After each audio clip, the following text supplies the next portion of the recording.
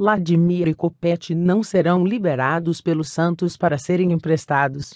Em reunião nesta segunda-feira, na Vila Belmiro, o Comitê de Gestão do Peixe optou por vetar a saída dos dois atletas. O Vitória foi o único a fazer proposta oficial pela dupla Santista. O goleiro também foi sondado pelo esporte.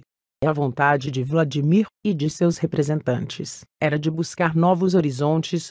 Vladimir está no clube há mais de 10 anos e nunca se consolidou como titular, até pelo ótimo momento vivido por Vanderlei. Ele tem contrato até 2020. Nesta temporada, só atuou na derrota contra o São Bento por 3 a 1, na última rodada da fase de grupos do Campeonato Paulista. Jacopete iniciou 2018 como titular de Jair, mas perdeu espaço e tem sido pouco utilizado.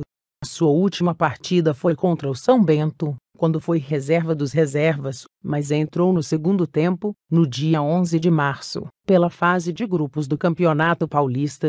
Seu vínculo com o Peixe é válido até junho de 2021.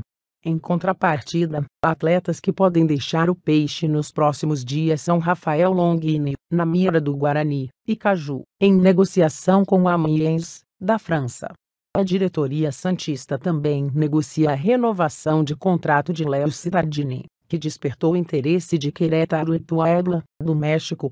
Este artigo foi lido no site globoesporte.globo.com. Na descrição deste vídeo, você irá encontrar um link direto para o artigo.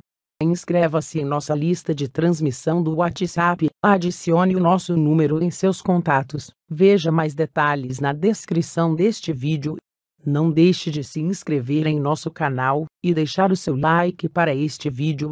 www.youtube.com/souvitória